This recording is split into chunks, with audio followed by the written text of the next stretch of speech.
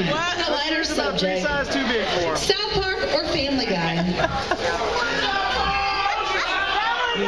South Park Family Guy. I would like to take Stan Marsh and Peter Griffin, butter them up from head to toe, and have a big old South Park Family Guy sandwich. baby. Could have answered it better than this.